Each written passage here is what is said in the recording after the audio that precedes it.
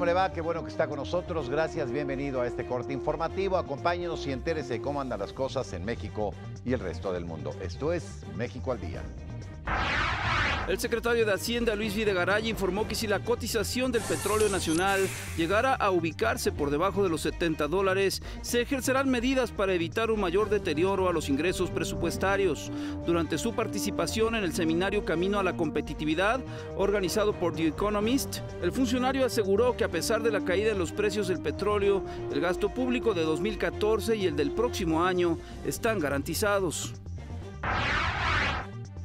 En los últimos seis años, México atrajo inversiones por 15.400 millones de dólares en proyectos verdes, con lo que se han generado 22.000 nuevos empleos, destacó el director general de ProMéxico, Francisco González, al participar en la quinta edición del Green Solutions en Aguascalientes. La Comisión Nacional del Agua informó que Vance se degradó a depresión tropical y esta mañana tocó tierra al sur de Sinaloa.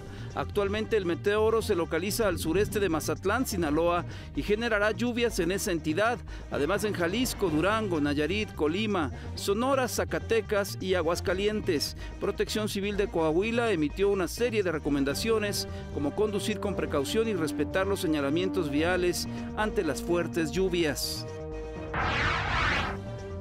En el mundo, en Estados Unidos el presidente Barack Obama y el Partido Demócrata sufrieron la peor derrota desde que el mandatario llegó a la Casa Blanca en 2009 durante las elecciones legislativas efectuadas ayer martes. Según resultados parciales, los republicanos toman el control del Senado y amplían su mayoría en la Cámara de Representantes, por lo que será de su dominio el Congreso. Además, en las elecciones a gobernador se impusieron en bastiones demócratas como Maryland, Massachusetts e Illinois, donde ganaron 24 de las 36 candidaturas. Y en los deportes, el atacante del Real Madrid, Cristiano Ronaldo, recibió por tercera ocasión en su carrera la bota de oro, que lo acredita como máximo goleador de Europa con 31 anotaciones. Gracias por habernos acompañado. Siga pendiente de nuestros siguientes cortes noticiosos y entérese cómo andan las cosas en México y el resto del mundo. Esto fue México al Día. Lo esperamos.